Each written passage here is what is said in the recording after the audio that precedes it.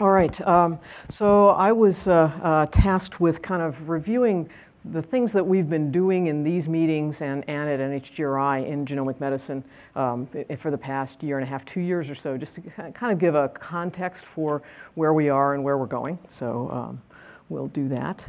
Uh, and just to, to mention that uh, at our May meeting, one of the topics that came up was what do we really mean by genomic medicine?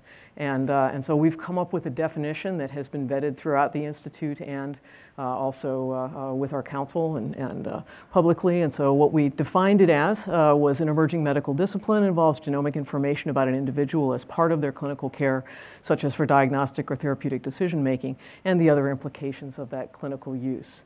We recognize that this is a, a, narrow definition and we made it narrow purposefully so that we could work with it within the Institute. We recognize that there are departments and divisions and institutes of genomic medicine that are much broader than this, but we're really sort of focusing on the use in, in an individual patient's care. Um, we also wanted to sort of emphasize what we meant by genomic uh, in, in our institute, but recognizing that there are much broader definitions. Um, so direct information about DNA and RNA, uh, but as we get to sort of more downstream products, they're, they're a little bit outside of our institute's immediate purview, um, recognizing that we're a small group, and so we'll kind of stay with sequence, and, the further we get from that, the, the less involved we're likely to be. Um, we also recognize that the dominant proportion of our portfolio will continue to support the basic research on uh, the um, uh, uh, structure of the genome and how it functions, but we recognize we need to then stretch into these other areas.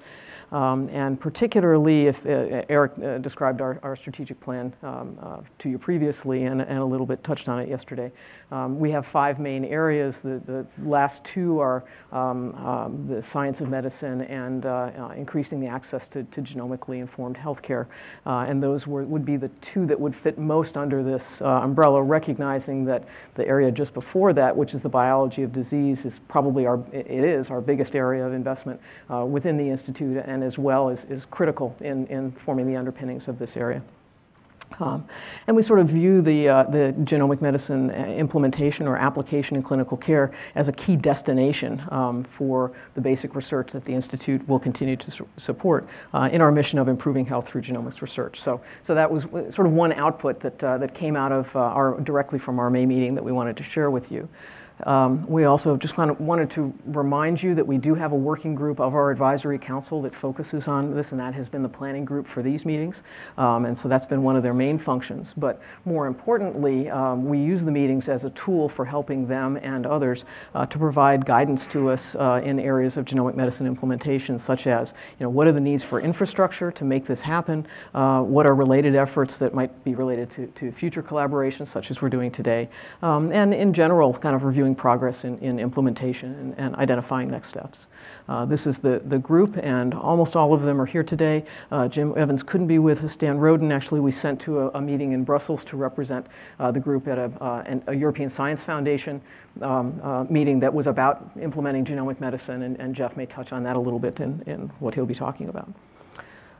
Uh, we also established a, a, social networking site kind of as an experiment uh, following our May meeting. There, there seemed to be some interest in doing this, although uh, we didn't have it up and running by May because so, it came out of that meeting. And so I'm not sure that it's as, as well known. And we, we thought it might be a nice place for uh, if people have questions to each other uh, among the, the various institutes or, or centers that are doing this kind of work. Um, you know, how, how do you deal with uh, an incidental finding of a BRCA1 variant of unknown significance or you know, some, something along those lines to, to be able to share those and kind of bat them back and forth. And this was an experiment for us. Uh, there's not a lot on it now, but we would encourage you to, to go to it and, and uh, see and give us advice on how we can make it more useful. Uh, this is something, this Scitable is, is uh, um, actually a service provided by Nature uh, and it's free and, and very easy to use. So, so we thought we would try it. Uh, we also held, held a workshop in September um, about uh, implicating sequence variants that several of you were involved in. Uh, and the goal was to develop guidelines for assessing, or at least guidance for assessing, the evidence implicating sequence variants or um, genes in, as, as being causal in a specific disease. This is a big issue. Um, uh, very, very often you'll see publications saying, oh, this is it, this is the, the, you know, the variant or the gene that causes X disease. And then you know, months or years later, you'll see uh, uh, subsequent publications disproving that. And, and so this was kind of the, the uh, um, area of confusion that we were trying to address. And there is a manuscript in preparation from that we hope to have out very soon. Um, Another thing that we've been doing is collecting recent advances, uh, you know, um, publications and other announcements that seem to us to be um, sort of hallmarks of what this field can do for medicine and the public in general. Obviously, we, we find this very useful for um, explaining to the public and Congress and to others, you know, why we're doing what we're doing. Um, and we suspect it's probably would, would be a useful thing for others of you when people say, well, you know, what in this is, has made a difference in, in patient care. And so, so some that we have identified. I include this uh, whole genome sequencing in a, in a, fetus, which is done um, through maternal serum rather than through amniocentesis, and, and now is largely re replacing amniocentesis in, a, in uh, most cases, then followed up by confirmatory amnio when necessary. Um, this was uh, uh, an episode at, or several episodes actually at the NIH Clinical Center, um, trying to determine how this Klebsiella that came to us from a patient from uh, New York actually continued to spread, even though every possible effort was, was made to, to eradicate the organism and to sterilize the staff. And it ended up, it was, I think it was growing in the drain pipe of one of the sinks or something. And, and, and using sequencing enabled uh, folks to be able to trace this and, and how it was transmitted from, from patient to patient. Um, uh, this was a, uh, another uh, advance using whole genome sequencing in neonatal intensive care units for, for newborns with severe disorders. and this um, very recent one in New England Journal looking at this, the PIK3CA mutation in relation to aspirin use and, and, colon cancer survival. So, so these are just examples of things that we're trying to collect. And if you have uh, an example of something that's really pretty close to ready to, for implementation, this one may be a, a, little bit further, but maybe not, um, or that, that demonstrates an example of implementation, it would be very helpful if you would send those to us. Uh, Ian Murpuri is the, the person that's collecting them, or you can send them to me, and we'll, uh, we'll try to get them up on our, our website, and that's, that's uh, down here, these numbers, but at, at least the genomic medicine website of uh, of NHGRI. Um, mention was made of the first um, uh, meeting that we held in June 2011. We finally have a paper out on that. It took longer than, than I would have liked, and my apologies for that, but at any rate. Um, and the, the purpose there was to, to kind of collect what the ongoing uh, projects were and the challenges that they had encountered, uh, identify some common infrastructural and research needs, and then uh, outline an implementation framework for other groups that might want to apply this kind of work. So that's now available through uh, in Genomics and Medicine. Uh, and this just uh, briefly summarizes what we've, we've done, defining the landscape and identifying commonalities, and then developing the roadmap. In the first uh, meeting, we didn't call it GM1, just as they didn't call the First World War World War I, because there hadn't been a World War II. Uh, but at any rate, uh, and then, the, so that was the colloquium, and then we followed it with uh, GM2 in December, where we were looking at potential collaborative projects and developing um, some working groups around those. and then we also spent some time with institutional leaders actually asking asking them, what does it take at your institution to, to make this a reality? Uh, and, and got some very interesting insights from them that I won't uh, review here because we've reviewed them at previous meetings.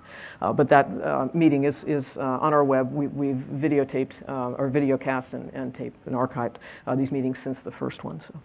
Um, and then the third one in Chicago uh, looked at the pilot project working groups and um, um, spent a fair amount of time with payers and other stakeholders uh, looking at uh, um, uh, what some of the barriers were, and that then led to the payers meeting last time, um, which Derek, uh, or in October, which Derek has described to you. And then, of course, our meeting here uh, really focusing on professional societies.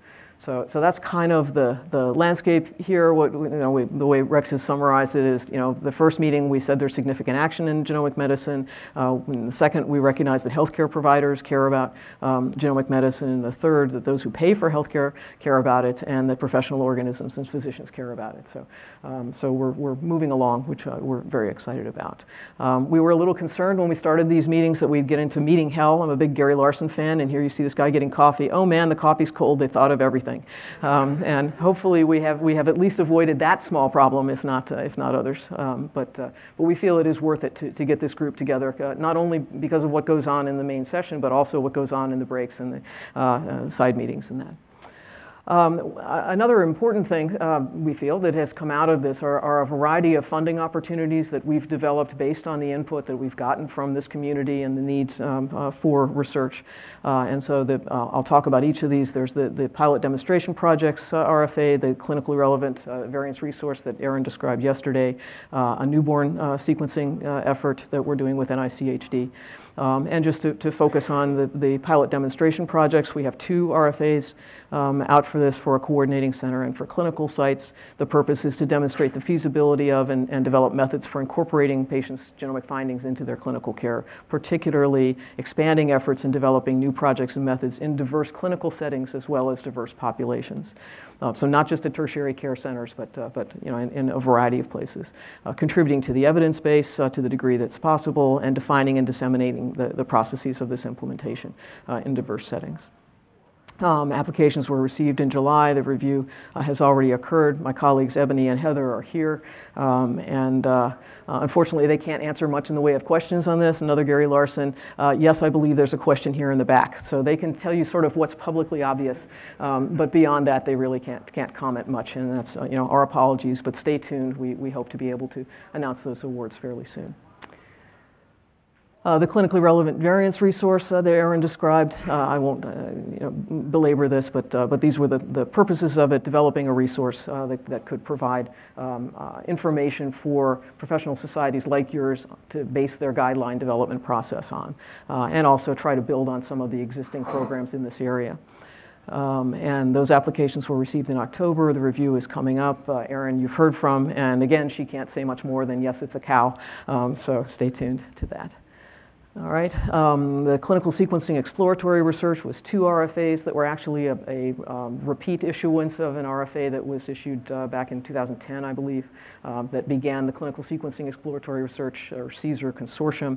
Uh, there was a, a, fair amount of, of demand um, and need at that point to, to expand uh, that uh, consortium, and so we're, we're making an effort to do that through this. Um, the, point, the, the, purpose is to investigate challenges to applying actual sequence data in the care of patients. Um, and the, the uh, goals would be to generate uh, genomic sequence data that can be used in, in a clinical uh, care and, and that would be relevant to an individual patient, then uh, translate these data for the physician and communicate them to the patient uh, and examine the ethical and psychosocial implications of, of doing that. Um, so so a, a, fairly ambitious agenda for that program. Uh, applications received in the summer. The review was, was partially carried out in October, was interrupted by Hurricane Sandy, and so was um, continued in January. Uh, Lucia and Brad are, are, both here, and again, uh, you'll need to stay tuned on that. Uh, and then the genomic sequencing and newborn screening disorders uh, RFA is something that we're doing in, in, collaboration with the Child Health and Human Development um, um, Institute.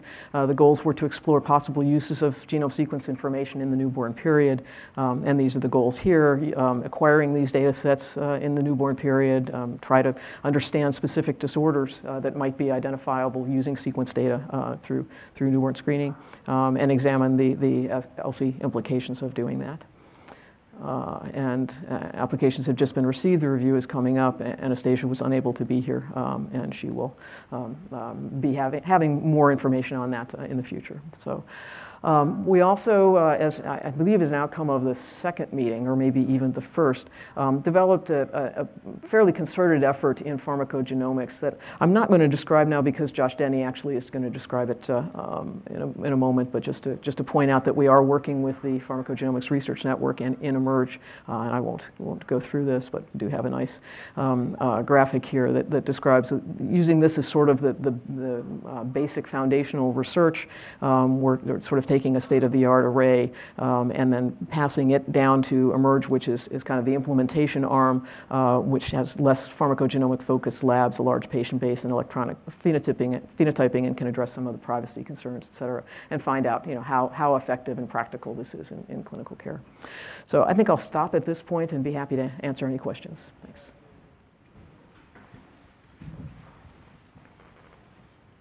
Oh my goodness. Obviously, it was perfectly clear. Stunned into silence. Cow. It was a cow. Say what? It was a cow. Oh, yeah, that's right. Yeah, exactly. Okay. All right. Great. Thank you very much. And if you have questions, uh, um, uh, feel free to uh, attack Teri at the break.